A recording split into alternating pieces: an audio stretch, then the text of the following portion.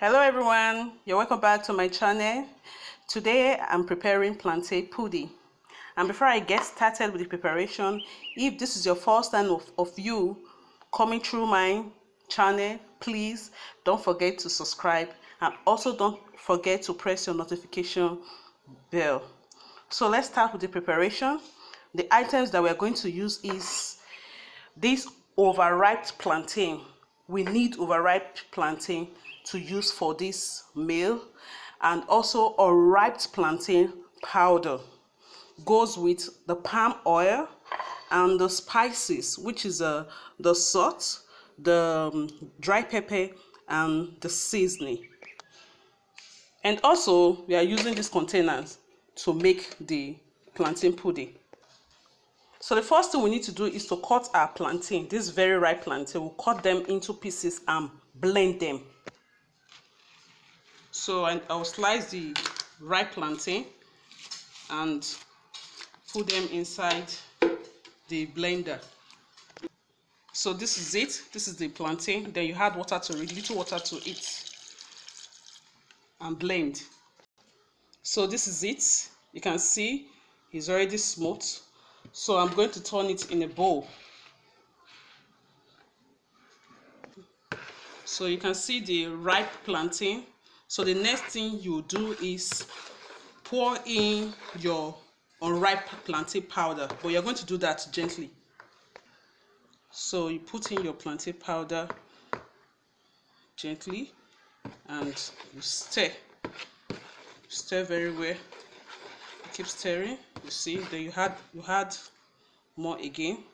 You just add it little so that that taste that ripe taste will still be there. Then you add water to it and stir.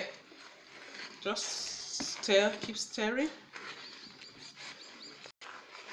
So you make sure you stir very well so that it will be very nice. So the next thing you add your pepper your dry pepper your seasoning. You just put everything at, at once and your salt. Mm, and after that you mix it very well. So adding your oil your palm oil. And you stir very well. You keep stirring so you stir the uh, pudding to make sure that the oil is very okay. And you know one thing eh, about this food? Why i actually like it very well is because it's very cheap and affordable. You don't really need so many things for you to prepare this particular meal. With these little items that you have your plantain pudding is ready. So the next thing is to get your containers. The containers you will use to make the food. So after that you pour them gently in the container so that you can put it in the fire. So this is it then the next thing is to cover and put in the pot to cook.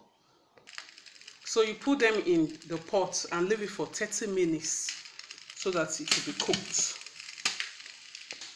So after 30 minutes, this is the outcome of it. So you can see the plantain. Very nice. So thank you for watching and please don't forget to subscribe.